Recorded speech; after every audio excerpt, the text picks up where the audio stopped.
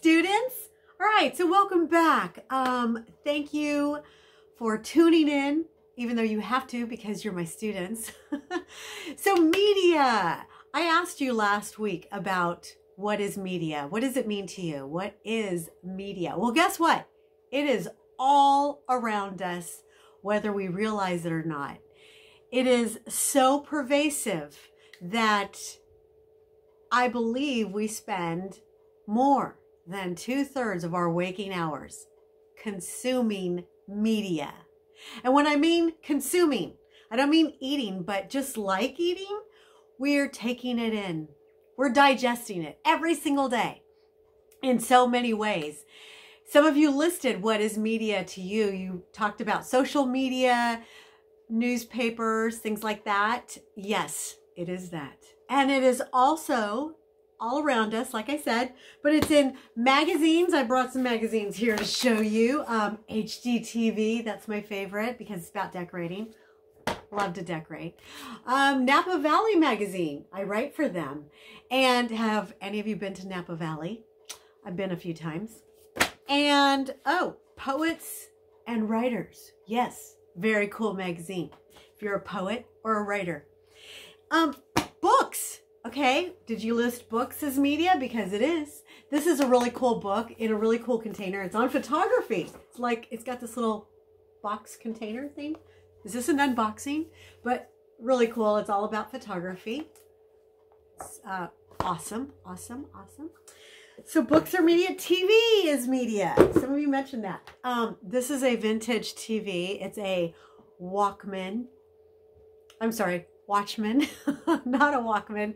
It's a Watchman TV. It's so cool. Um, I've had this since I was a teenager. Pretty cool. Um, what else? I, I talked about TV, broadcast news, entertainment TV as well.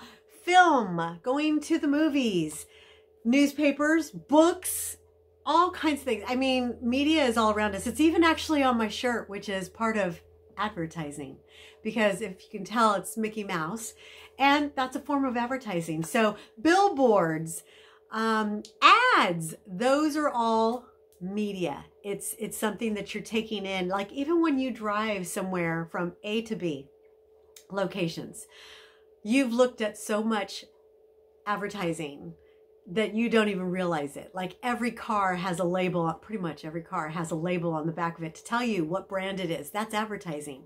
That's media. That's what you're consuming.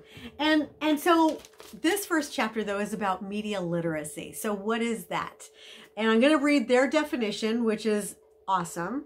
It's the ability to access, analyze, evaluate, and create messages in a wide variety of forms. So the other forms also, YouTube, what I'm doing right now, that's media. Uh, but media literacy, getting back to that, is the ability to do those things, to create, to have access to it. Some people don't have access to newspapers or TV or cable or uh, streaming videos.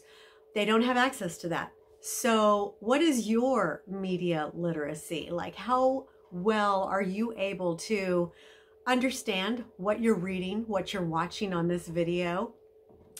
How well are you able to understand and analyze it? And also how, what's your ability, what's your level, what's your media literacy level on creating content that, well, our messages that's going out to the masses. And what is that message saying? So anyway, just wanted to do this little short video on media literacy and what media is. It's all around us and how often we are consuming it. I think also the textbook says that the average person checks their cell phone, which is a form of media, at least 52 times a day. I probably surpass that because I'm checking emails, I'm checking videos, I'm checking text messages, I'm making a phone call. Um, but I'm constantly on my phone. And so, yeah, the average person's 52. That's what it says in the book. I think it's higher than that. Anyway, media, media literacy. What's your level? Okay, I'm gonna find my remote so I can